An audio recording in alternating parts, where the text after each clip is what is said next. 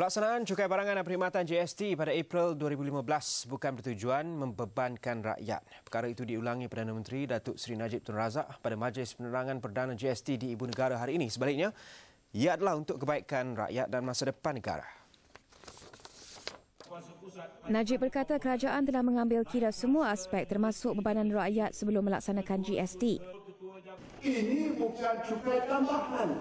Ini cukai mengganti cukai jualan dan cukai perkhidmatan. Ini saya nak jelaskan menggantikan. Banyak yang tak sedar bahawa cukai pendapatan mulai tahun hadapan dikurangkan.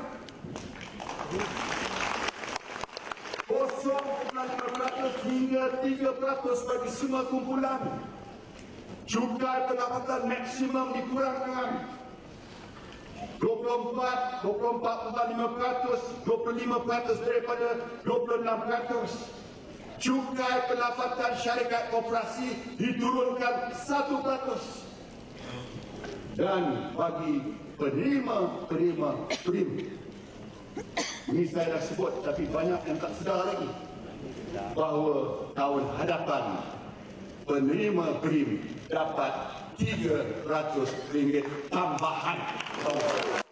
Najib mengakui harga akan naik sedikit tapi pada masa sama kerajaan akan memastikan penguatkuasaan diketatkan bagi memastikan tiada pihak yang menaikkan harga sewenang-wenangnya.